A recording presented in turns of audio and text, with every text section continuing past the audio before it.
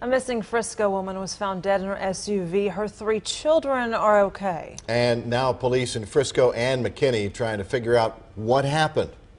Fox 4's Shannon Murray live to explain. We still don't know how Christine Wu died, and of course, police are still investigating. We hope to hear an update from them this morning. Meantime, the Collin County Medical Examiner will do an autopsy. Detectives found Wu's Honda Pilot in the back of a McKinney Target parking lot around 6:30 last night near the Sam Rayburn Tollway in Custer.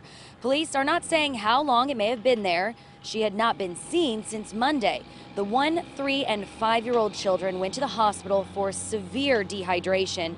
Police are not saying if Wu showed any signs of obvious trauma or foul play. Uh, we would like to express we are just saddened by the incident as, uh, overall, and we know that the family is saddened as well, and that uh, hopefully this will bring some closure to them, though.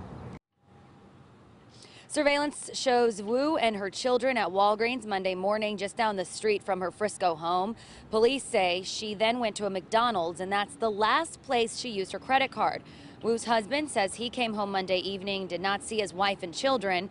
He claims he went looking for them, but he didn't call police until Tuesday because he hoped she went to stay with a relative.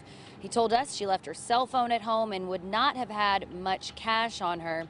Police will also be reviewing video from that Target parking lot, hoping that will help them put a timeline together. Reporting live in Frisco, I'm Shannon Murray on Good Day.